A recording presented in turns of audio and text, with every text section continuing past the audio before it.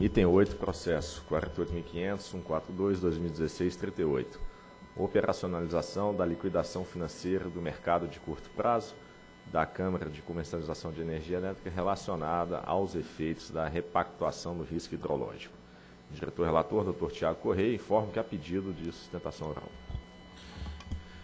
A Energia Sustentável do Brasil, a Santo Antônio Energia, a Serra do Facão Energia, a Associação Brasileira de Produtores Independentes de Energia e a Associação Brasileira de Geração de Energia Limpa manifestaram sobre a necessidade de parcelamento dos débitos oriundos de recontabilizações no mercado de curto prazo que considerem a extinção de liminares de isenção ou limitação do GSF. A sessão em sorteio público ordinário realizada em 18 de janeiro fui designado para a relatoria do processo. A Petrobras e a Associação Brasileira de Geradores Termoelétricas alertaram para a necessidade de recebimento de valores inadimplidos do MCP, no intuito de evitar a inviabilização financeira da operação de usinas termoelétricas, inclusive sugerindo que a conta centralizadora de recursos de bandeiras tarifárias absorvesse também o custo das usinas despachadas por segurança de suprimento. Em 23 de março de 2016, a CCE emitiu a carta número 741, informando a ANEL sua proposta para o programa de operacionalização das atividades referentes à liquidação de janeiro a março de 16, contemplando metodologia para o equacionamento de débitos referentes às liminares do GSF, período de março a dezembro de 2015.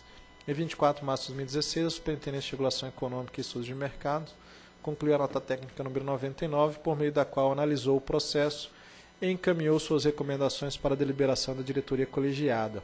Em 28 de março, a CCE protocolou a carta 795, apresentando detalhamentos complementares à referida carta 700, 741. É o relatório.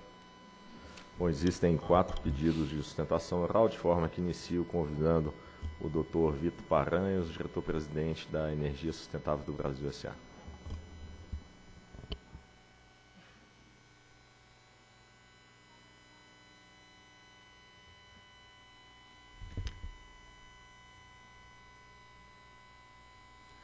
todos. É, a gente praticamente já conversou com todos os diretores da ANEL com relação às usinas estruturantes. Se a gente apanhar nesses últimos é, quatro, cinco meses, ministro de Minas e Energia, vários diretores da ANEL, todos, todos os reguladores do setor concordam que teria que haver uma condição específica para a usina estruturante. Infelizmente, a Lei 13.203 é, foi omissa com relação a isso. Mostramos, tentamos e não saiu nada na lei. Só para se ter ideia, eu estou falando especificamente da SBR, nós já pagamos é, 2014 e 2015, e é mais o que está previsto para 2016, 1 bilhão e 400 de GSF. Isso não está no custo do projeto, não estava dentro dos itens financiados pelo BNDES, isso foi bancado pelos acionistas. É, a CCE propõe o parcelamento em seis vezes. É, esse prazo é, resolve ou atende, sei lá, 80% dos agentes devedores. Porém, é, para geral e creio que para as demais usinas estruturantes ele não é suficiente. Soluções mais estruturadas seriam importantes. O momento a gente vai ter que liquidar 400 milhões agora é no dia 31. E o que a gente está propondo é um parcelamento maior para as usinas estruturantes com custo maior em 12 vezes com GPM mais 1,3, 18 vezes com parcelamento de GPM mais 1,5. Isso dá um fôlego para o fluxo de caixa da empresa começar a gerar é, recursos para fazer frente a isso daí. É um custo extremamente elevado. E aí a pergunta básica é o seguinte, por que, que não vai no mercado e apanha recursos mais baratos? Simplesmente que usina estruturante financiada por é, BNDES e demais bancos têm o famoso índice de cobertura de serviço da dívida. E nenhuma usina estruturante consegue, nos dois, três primeiros anos, anos atender esse índice, principalmente na hora que você teve o um aumento da TJLP. Então, nós não temos acesso ao mercado bancário por não atingir os índices de 1,2, ou seja, ou sai o financiamento via, via CCE, ou nós temos que solicitar recursos para os, para os acionistas. Só para ter ideia da questão do fluxo de caixa desse ano, é, nós temos ainda que investir na obra 600 milhões. Estamos terminando, tem uma série, estamos terminando motorização, terminamos até o final do ano as 500 as 50 turbinas. Tem um serviço da dívida hoje na casa de 1 bilhão e 200, que representa 48% da nossa receita bruta. Temos uma TUST que representa 28% da receita bruta. E para fechar essa conta, os acionistas terão que aportar é, mais 947 bilhões na empresa, o que é difícil, o que é complexo para todos eles. Para se ter ideia do que é que esse impacto, é, 2014 tivemos o um prejuízo de 1 bi 196. 2015 tivemos um prejuízo de 700 milhões. Ou seja, é, o que pode dizer é o seguinte: esse é um problema de geral, esse é um problema das usinas estruturantes, com certeza. Mas isso é um problema do futuro da hidroeletricidade no país. Quem vai investir é, hidrelétrica sem saber que fatos totalmente fora do controle do investidor serão tratados como capital próprio do investidor. Nós estamos falando de empresas que estão investindo em usinas há muitos anos. É, Tractebel começou com Serra da Mesa, equipe, estamos hoje na sétima usina e tem que se ter uma solução, não só para uma sinalização futura, não adianta dizer eu vou aumentar a TIR, investidor não olha a TIR, investidor olha a segurança é do investimento como um todo, a posição da agência com relação a essa questão. E outra coisa é que falta capital de giro. Ninguém está conseguindo gerar caixa para fazer um novo investimento. O novo investimento você faz com recursos próprios e recursos de terceiros. Entendo a queixa da Brajet, está tá com razão, eles estão sendo também penalizados com relação a isso. Porém, eu digo, no custo atual da CCE, eu creio que uns 80% vai preferir quem tem acesso a, a, fontes bancárias e GPM mais 1 está dando mais ou menos CDI mais 5. Então, empresas que têm fluxo de caixa positivo, que conseguem ir ao mercado, é melhor ir ao mercado para pagar à vista o GSF. O grande problema é quem não tem acesso ao mercado e vai ter que encontrar uma solução para, agora no dia 31, no nosso caso são mais 70 milhões. Se a gente faz um prazo maior, esse desembolso cai ao longo do ano e a gente consegue ter um fluxo de caixa menos impactante para os sócios ao longo de 2016. Esse é o nosso pedido. Obrigado. Na sequência, convido o Dr. Alexandre Kingston, representante da Abrajet, Associação Brasileira de Geradoras Termoelétricas.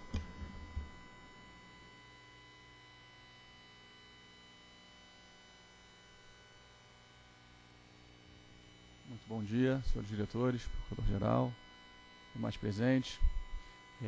Estou é, sem arquivo, na verdade a gente vem aqui é, externalizar aqui a nossa preocupação com a finalização dessa, desse acordo. A gente vem sofrendo muito aqui, os geradores termoelétricos vêm sofrendo muito nos últimos meses com essas liquidações, né, com as travas das liquidações, com essa verdadeira guerra judicial, né, que infelizmente a gente se viu obrigado a, a se lançar. É, e mesmo com, com, com, liminares em vigor, protegendo a Abrajet, os associados da Abrajet, a gente vem recebendo nas últimas liquidações parte dos nossos créditos. É, também entendo a posição aqui da, do meu antecessor, mas enfim, fato é que os né, associados da Abrajet na posição de credores é, precisam dessa verba, né, isso compromete essa, essa liquidação, essa receita advinda da liquidação da CCE, é basicamente destinada para aquisição dos combustíveis, isso em termos percentuais significa 90% né, dos créditos da, dos associados da Brajet, então né, todo mundo aqui, é uma matemática simples, pode saber como né, os associados vêm suportando esses últimos meses. E chegado agora esse horizonte aqui da gente finalizar né, a repactuação com, com um acordo, é, o nosso primeiro ponto é entendemos, né, somos solidários aí à, à composição, tá? um fim nessa judicialização, só que é preciso ter bom senso. Né? O primeiro ponto, em relação ao parcelamento, né, a, a um parcelamento razoável de seis parcelas, a Abrajet não se opõe. É, jogar essa, essa, esse parcelamento com o GPM mais um também seria razoável do ponto de vista da Abrajet. Agora, um ponto que é fundamental é que o valor acumulado nesse período ele também sofra né, a incidência dos juros, dos juros legais, além do GPM. A gente não pode confundir penalização com juros. Né? As usinas né, hidrelétricas tinham suas liminares, então a gente não pode chamar isso de inadimplência, elas não podem ser penalizadas com multa. Mas os juros nada mais é do que uma remuneração do capital dos credores, que em função da composição na CCE arcaram durante esse período. É, Para fazer frente, inclusive, aos combustíveis, no mercado o custo do capital deles é maior do que esse GPM mais um. Então, se a gente se simplesmente tirar os juros, só a atualização do GPM fica realmente muito pesado. Então, essa é a posição da Brajet em relação ao parcelamento. Nós não nos não tem oposição em relação ao parcelamento em seis vezes, né, só que o valor acumulado deveria ser né, atualizado pelo GPM mais 1%, da mesma forma que o, os valores a serem pagos em parcelas. Queria aproveitar a oportunidade e levantar mais dois pontos que são fundamentais aqui para o aprimoramento futuro das liquidações. O primeiro ponto seria a gente buscar, especialmente para aquelas usinas que são despachadas fora da ordem de mérito, né, para garantia do suprimento energético, um, um, uma liquidação segregada, né, a exemplo do que ocorre com os leilões de energia de reserva. De forma, por quê? Porque, na verdade, a receita dessas usinas, nessa situação específica, ela basicamente é está é, tá concentrada nos créditos advindos da CCE. Com isso, enfim, a gente imagina que um tratamento diferenciado, segregado, poderia fazer com que elas não suportassem pesados ônus. E o segundo ponto, como sugestão de aprimoramento, seria que a gente buscasse uma forma de rateio dessa inadimplência, não só entre né, os, os, agentes em posição credora e devedora, porque isso é uma conjuntura. É, que a gente buscasse um aperfeiçoamento disso para que esse rateio dessa inadimplência pudesse ser em todos os agentes de mercado, de forma proporcional aos votos. A gente entende que isso corrige alguns riscos estruturais do mercado e queria colocar então essa sugestão, né, também foi, foi objeto de carta, mas quis, né, a pedido do nosso presidente, frisar aqui em sustentação. Muito obrigado, bom dia. Convido o doutor Luiz Roberto Ferreira, representante da APINE.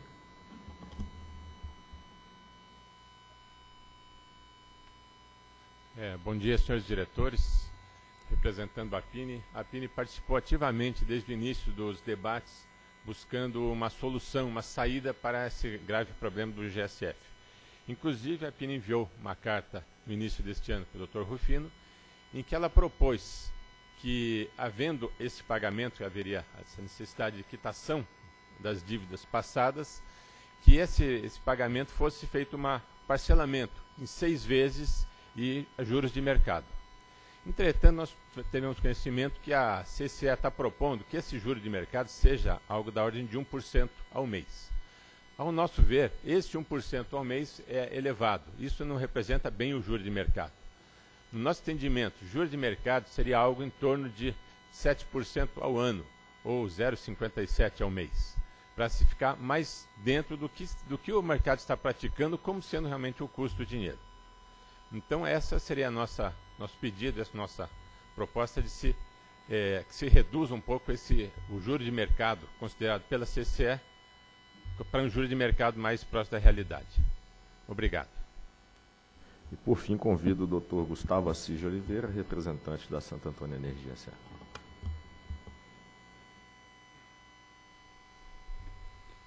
Bom dia, senhor diretor-geral, senhores diretores, senhor procurador, senhor secretário, demais é, presentes.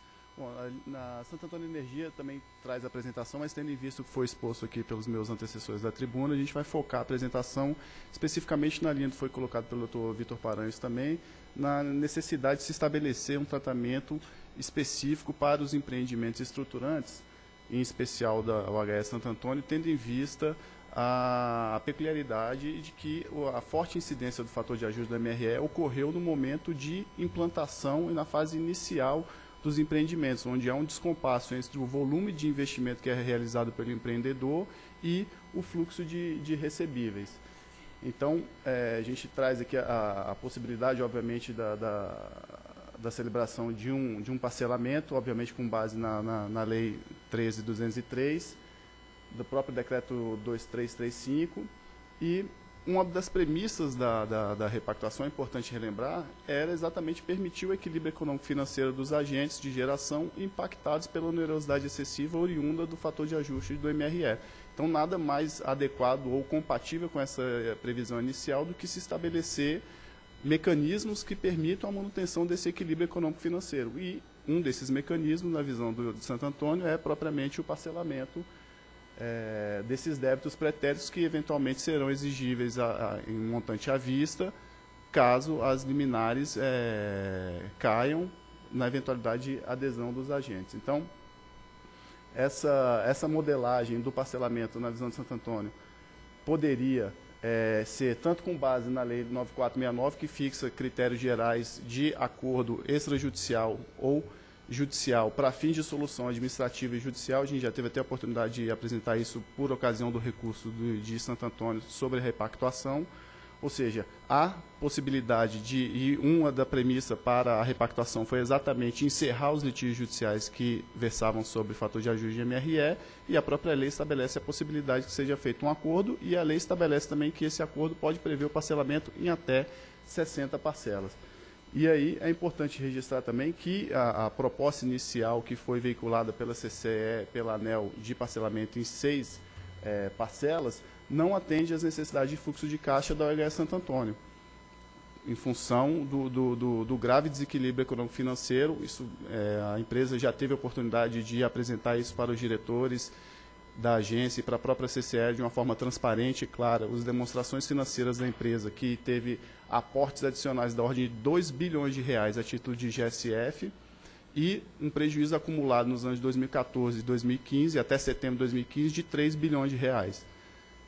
Soma-se a isso essa exigência, eventual exigência de recolhimento à vista do valor aproximado de 500 milhões de reais na liquidação subsequente à, à eventual adesão da empresa. Então, todo esse conjunto de fatores é, demonstram a grave é, situação do equilíbrio econômico-financeiro e a necessidade de se estabelecer um tratamento específico para os empreendimentos estruturantes, na linha do que foi colocado também pelo HE Giral, que se encontra na mesma, na mesma situação. Bom, e como é, é, contribuição adicional, além dessa possibilidade com previsão de celebração de acordo com base na Lei Geral de Acordo da AGU, Santo Antônio trouxe também uma contribuição no sentido de utilização da conta de centralizadora de recursos da bandeira tarifária para fins de viabilizar esse financiamento. A, a, possibilidade de utilização de recursos da conta de bandeira tarifária para, é, em virtude do deslocamento do MRE, de ajuste de MRE, está prevista na Lei 3.203 e no próprio decreto que regulamenta a conta de bandeira tarifária.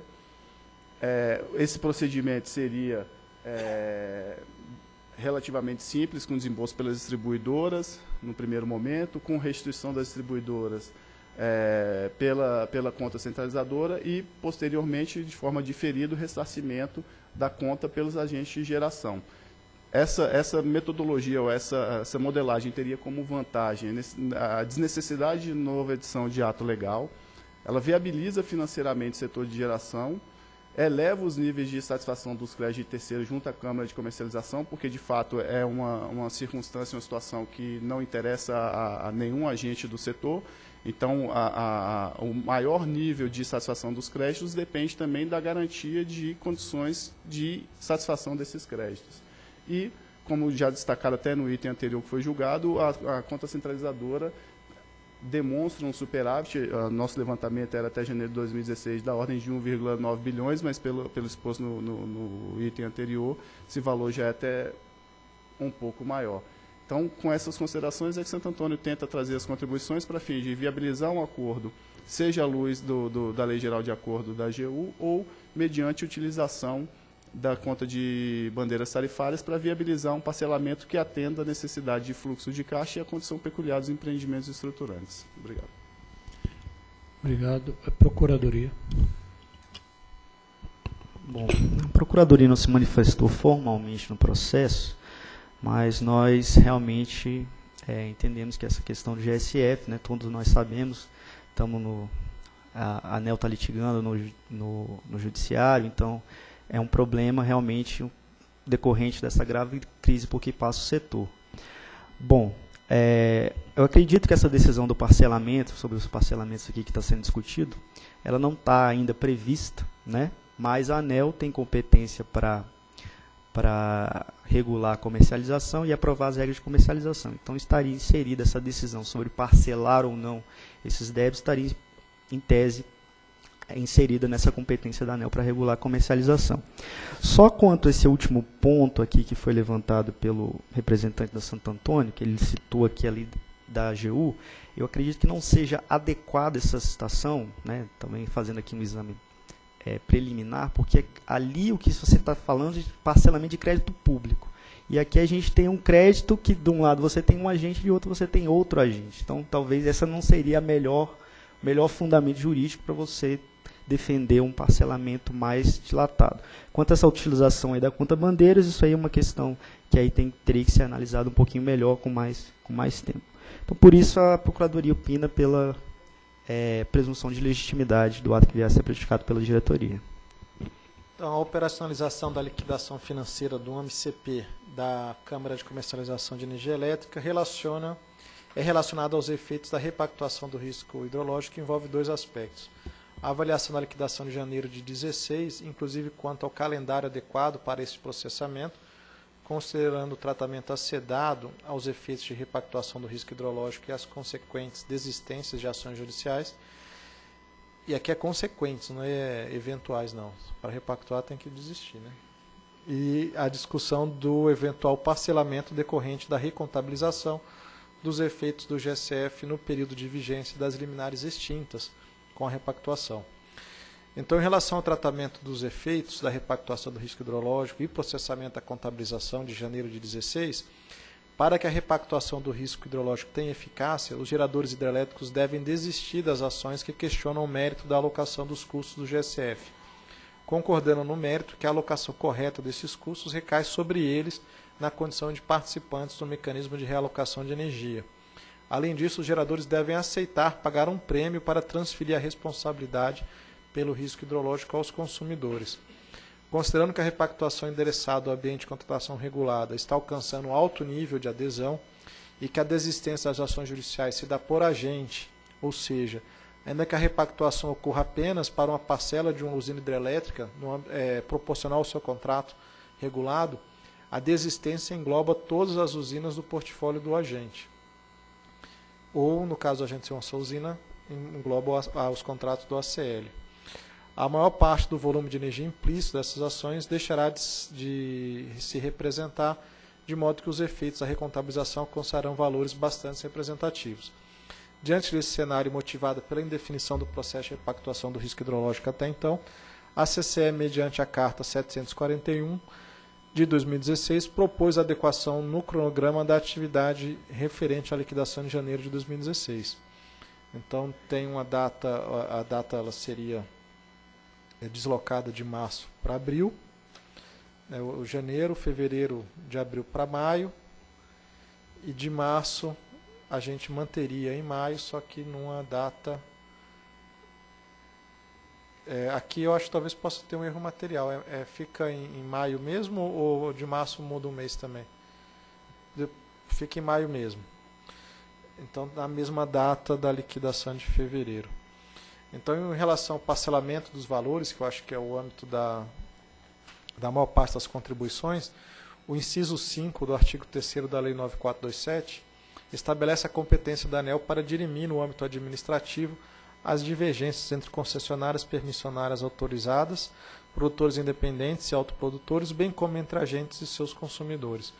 A situação de débitos do MCP, apesar de não se instituir como um conflito estabelecido entre agentes, revela um potencial conflito multilateral entre credores e devedores do mercado de curto prazo, dada que a recontabilização dos efeitos do GSF altera a responsabilidade pelos pagamentos aos credores de cada competência e, consequentemente, a escrituração de eventual inadimplência ocorrida neste período.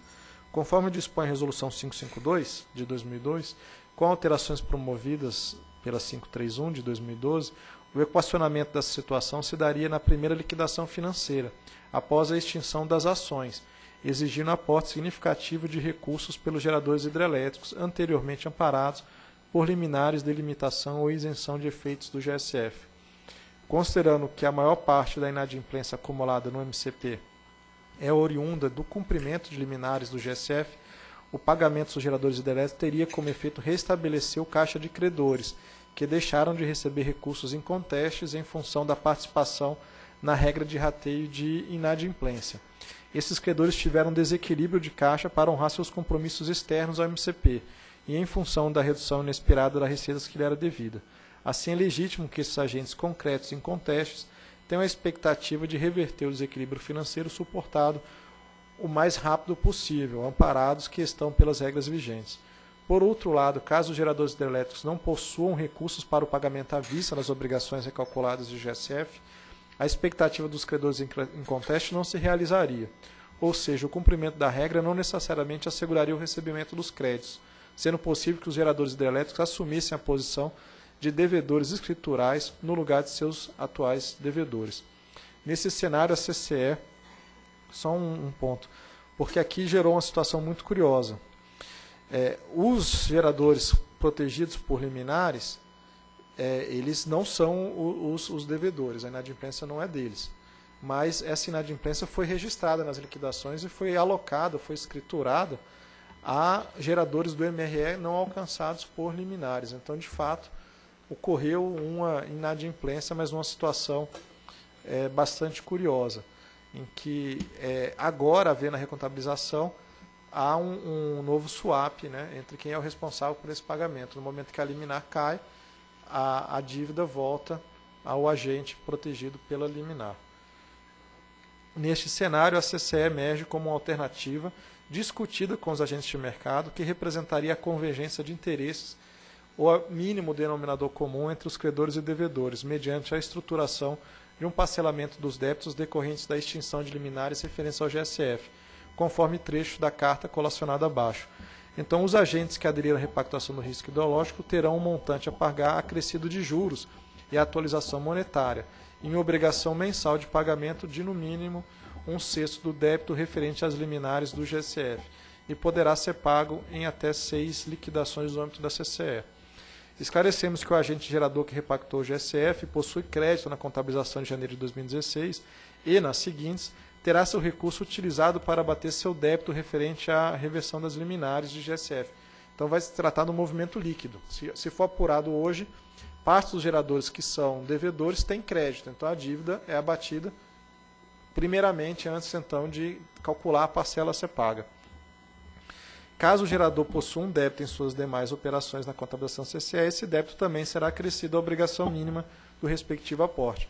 Porém, tal débito não será objeto de parcelamento, ou seja, o parcelamento somente se refere aos débitos provenientes da reversão das ações judiciais e resultantes da repactuação.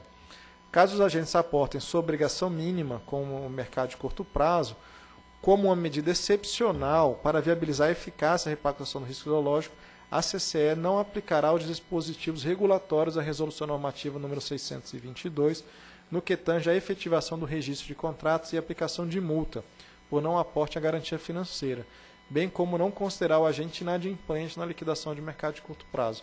Essa é a primeira decisão que a ANEL tem que tomar, autorizar isso, de modo a permitir um parcelamento, senão o parcelamento seria considerado inadimplência.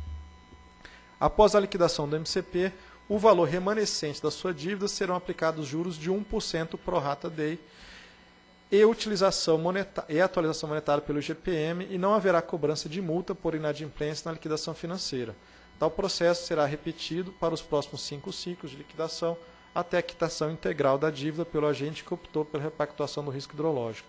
No entanto, caso o agente não aporte ou aporte parcialmente suas obrigações mínimas, um sexto, ela sofrerá as sanções previstas na Resolução Normativa 622, incluindo a não efetivação de registro de seus contratos de venda e multa de 2%. Do valor não aportado. Na integralidade dos seus débitos na liquidação, além dos demais encargos e sanções previstos para os agentes inadimplentes na liquidação do mercado de curto prazo. Destaca-se que não há impeditivo para que os agentes que repactuarem liquidar valores superiores à obrigação mínima de forma a reduzir o prazo de pagamento. Então não precisa ser em seis vezes, pode ser à vista, como pode ser em duas, três, quatro ou cinco vezes, a depender da, do, do acesso a recursos. Né? Sobre a atualização monetária e juros, porque também foi uma dúvida dessa relatoria, a CCE encaminhou uma nova carta, a 791, informando que ela efetuará o lançamento contábil dos juros de mora, também de 1%, na contabilização de janeiro de 16, que foram anteriormente retirados na contabilização de março a dezembro. Este lançamento será proporcional ao montante das liminares que foram revertidas em função da repactuação do risco hidrológico, nos termos da Lei 13.203. Além do lançamento citado acima, o valor principal anteriormente suspenso por liminares invertidas também será devido à atualização monetária calculada pelo acordo de variação do índice do IGPM para o período conforme a regulação vigente.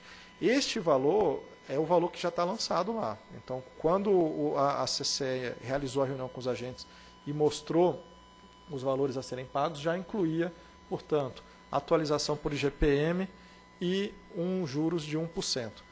A forma de cálculo desses juros é que não é exatamente a mesma forma de cálculo que vai ser aplicada para os juros da, do parcelamento porque ele é aplicado é, conforme a álgebra da regra somente sobre a dívida nova. Então ele incide, se você a gente pudesse ver por aproximação, seria 1% sobre a dívida toda agora. Se a gente saísse compondo o integral, teria é, relativamente esse mesmo resultado.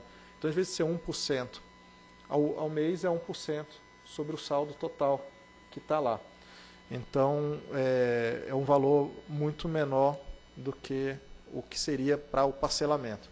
Então, uma conta aproximada pode até indicar ali, dependendo das, da, da, da, do arredondamento, só um IGPM, mas foi aplicado um juros e foi aplicado os juros conforme a regra.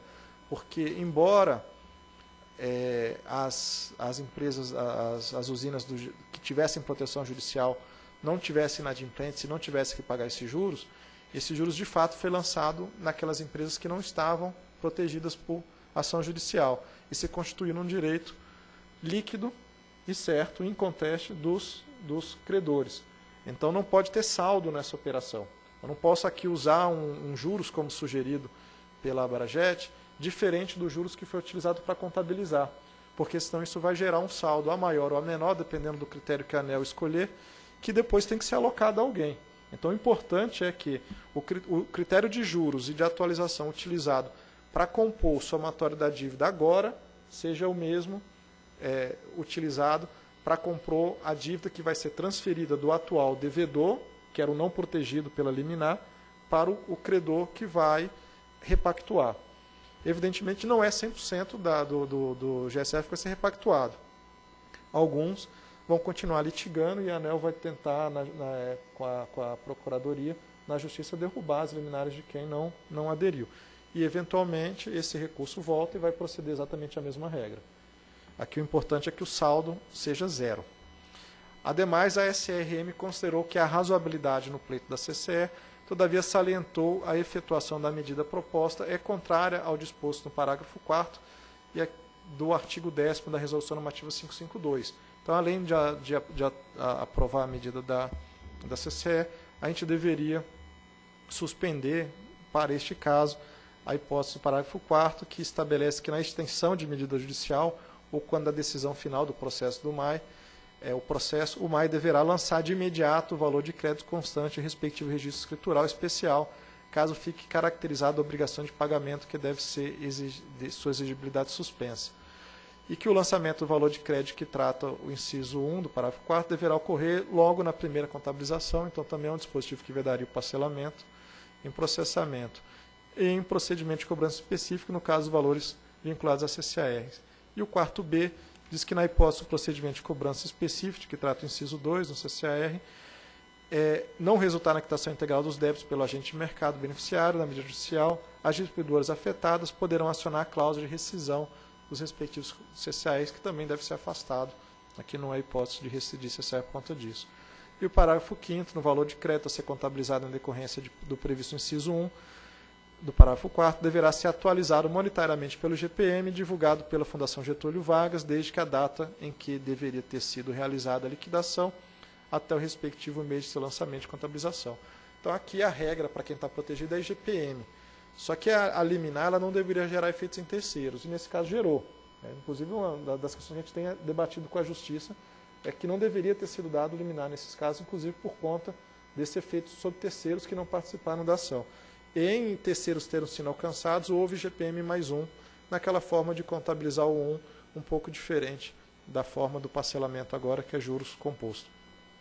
Assim, a despeito da atual diligência da CCE na viabilização dos processos negociais que permitem o equacionamento dos débitos pretéritos entre credores e devedores, a validade da resolução 552 não pode ser afastada sem autorização expressa da diretoria colegiada. Por sua vez, havendo autorização para excepcionalizar a 552, não há eficácia a ser suprimida em relação ao disposto na resolução normativa 622, tendo em vista que o pagamento de débito mediante parcelamento autorizado pela agência não figuraria, não configuraria inadimplência de obrigação, dado que estaria autorizado. A SRM observou ainda que a proposta encaminhada pela CCE não esclarece o período de referência à aplicação da taxa de juros. Sobre este aspecto, acompanha o entendimento de que a mencionada taxa de 1% deve ser mensal, adicionada à correção do GPM, a exemplo do que dispõe a resolução 622. Então, isso é para o daqui para frente. E diante do exposto, compartilho também o entendimento da SRM de que a proposta da CCE para o equacionamento das liquidações é viável, atendendo ao equilíbrio dos interesses dos agentes credores e devedores do MCP. Finalmente, feitas essas considerações quanto à proposta trazida pela CCE, a partir da decisão quanto ao parcelamento, os demais pedidos relacionados ao tema perdem aqui o objeto. É, inclusive a carta é, do uso da bandeira, que foi a carta recebida agora. A carta da Abrajet ela foi, foi recebida semana passada pela a, Santo Antônio. A carta da Abrajet ela não diz respeito a parcelamento, ela diz respeito a uma mudança na forma de rateio. Então ela foi encaminhada à SRM para instrução. Pelo exposto e pelo que consta no processo 4850000 0142 de 2016, dígito 38, voto pelo afastamento da aplicação do parágrafo 4A do artigo 10 da Resolução Normativa 552, no que tange ao pagamento dos débitos do MCP no período de março a dezembro de 2015, referente às liminares do GSF, extintas em razão da repactuação do risco hidrológico nos termos da Lei 3.203, permitindo a cobrança dos débitos em até seis liquidações a partir da liquidação de janeiro de 2016, com obrigação de pagamento mínimo de um sexto do valor total do débito apurado, utilizando-se eventuais créditos do MCP detidos pelos agentes devedores, com o objetivo de acelerar a amortização da dívida, a atualização do saldo devedor remanescente no período desde a liquidação de janeiro de 2016 até o pagamento integral do débito, utilizando essa taxa de 1% ao mês pro rata de além do corrigido pelo GPM, e a consideração do pagamento da obrigação mínima na apuração na inadimplência da liquidação, em que esse pagamento estiver inserido, aplicando-se as penalidades administrativas correspondentes. Voto ainda por declarar a perda de objeto dos demais pleitos relacionados aos impactos liminares do risco hidrológico na liquidação da MCP em discussão. Tiago, eu não, não compreendi bem é, como é que é, se daria essa questão da incidência do juro de 1% no período anterior a, a, ao início da liquidação e posterior. Explica de novo, por gentileza. Bem, a, a, isso foi um, inclusive o objetivo, o objeto da segunda carta. Uhum. Então, há uma álgebra nas regras atuais que já contabiliza quem está devedor com o IGPM e um, um juros de 1%. A forma como essa regra é aplicada, isso, esses juros deveria permanecer lá por um determinado período, depois esse contrato deveria ser é, desfeito. O contrato seria derrubado e, a, e aí a dívida seria é, bila, bila, bilateralizada. O que ocorreu é que como esse, esse, essa, essa dívida, na verdade, ela não era oriunda do agente, são os agentes do MRE não protegidos, ela era oriunda exatamente das liminares, a CCE não procedeu é, o cancelamento dos contratos. Então a dívida ela foi composta, corrigida e foi aplicado os juros conforme a álgebra da regra. A álgebra da regra não estabelece um juros composto. Então o juros foi incidido. Está lá incidido, dá um valor relativamente baixo. É, bem, daqui para frente, o parcelamento, o que a gente está encaminhando é que não. Aí é um juros composto normal. Né? Então fica de fato o GPM mais 1%, que aí, se for em seis, em seis vezes, vai dar um GPM aí da ordem de 5%, mais 6% de juros compostos para quem parcelar no período lá, no último. Agora, a gente não está recalculando o, o, a forma de, de apuração da dívida que já foi contabilizada e já foi liquidada, já foi considerada nas inadimplências passadas. Então, a forma como a regra está estabelecida não é análise de mérito aqui. Eu só consultei para saber como era feito, porque existia um pleito dizendo que deveria incidir juros e um outro dizendo que não deveria incidir juros. É, para ser bem. É, é, pra, aí a aplicação da regra pela CCE poderia seguir dois caminhos. Bem, se é protegido por liminar, não incide juros. Bem, mas alguns agentes não foram protegidos por liminar e ficaram com a inadimplência. E aí incidiu juros. Mas os juros também não é um juros muito grande. Dessa forma de cálculo, ele acaba ficando um juros relativamente baixo. Então seria, da forma como foi apurada, no somatório ele chega no máximo a 1%. Então, é, me parece que não caberia nessa decisão de mérito agora discutir a forma como a regra de contabilização e de consolidação dessa dívida tem sido apurada na CCE sem prejuízo de que, eventualmente, os agentes que se sentirem prejudicados né, dessa decisão cabe recurso. E a gente poderia aprofundar essa questão. A proposta de voto que eu encaminho é que já existe um valor consolidado, esse valor tem sido informado e foi o valor base considerado pelos agentes para esse acordo proposto pela CCE de seis meses. Da mesma forma que a gente adota aqui como critério todos os demais parâmetros da CCE. A partir de agora, IGPM, juros de 1% composto e uma parcela de seis meses. Bem, eu entendo a proposta da, da, de Giral de oferecer até um parcelamento mais caro e adicional. Bem, se houver acordo, não há impedimento dessa diretoria, dessa relatoria. Mas a nossa proposta de encaminhamento foi de que aqui os credores e os devedores devem chegar a um denominador comum. Né? O, a, a, questão da, da Abrajet colocada foi também tão eloquente quanto a da, a da, a da, a da de Giral e de Santo Antônio. Em termos financeiros, Giral e Santo Antônio, de fato, levaram um ônus muito grande. Mas quando a gente olha percentualmente, a gente está falando de 90% dos recursos relacionados ao pagamento de combustível estão retidos. Então, isso também é muito significativo. Então, diante desse dilema, como decidir? Se decide com base num acordo mediado pela CCE. Bem, essa é a minha proposta. Eu não tenho aqui como arbitrar salomonicamente essa questão. Não, ok, está compreendido. A questão dos juros, então, você disse é que não está sendo objeto aqui de avaliação do valor que foi apurado será objeto de parcelamento. Não é objeto dessa decisão, portanto, o que se fez lá, se fez de acordo com a regra, está posta e o valor apurado e já de conhecimento aí de todos já inclui essa remuneração segundo a regra. Da agora para frente é que você está dizendo, a partir é, da, da apuração do valor aí na, na, no período do parcelamento, incide o, a atualização pelo IGPM mais juros de 1% ao mês, prorata dia, é, juros compostos. É isso, né? Não, eu, eu concordo com você, que eu acho que realmente a questão do parcelamento não dá mesmo, quer dizer, não é próprio que a ANEL imponha uma, uma, uma condição de parcelamento diferente daquela. Eu diria que foi a, até o pleito majoritário. A própria PINE fez, evidentemente, respeitado aí as características dos chamados projetos estruturantes, mas fez um pleito nessa linha. Claro que, como foi esclarecido, ela mesmo pleiteou seis, é, um parcelamento em seis meses, juro de mercado. Bem, aí a discussão qual é o juro de mercado é uma outra discussão. E a, a que é a principal afetada, digamos assim, por essa não liquidação, também sinaliza com a concordância desse prazo de seis meses, mas evidentemente que tem uma remuneração compatível com o custo do dinheiro no mercado.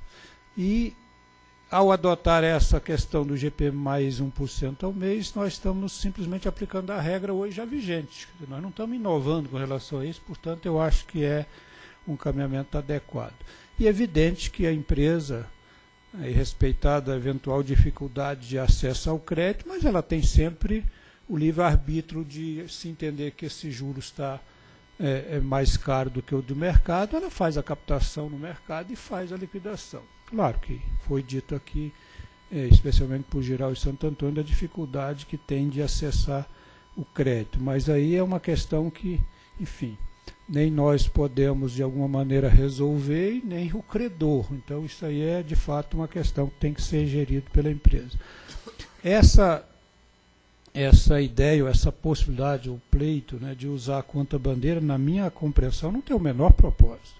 A conta bandeira ela foi criada é, depois de feito a repactuação lá do risco hidrológico, o consumidor, em alguma medida, já participou é, ou, ou participaram por ele no processo, no sentido de é, é repactuar o risco.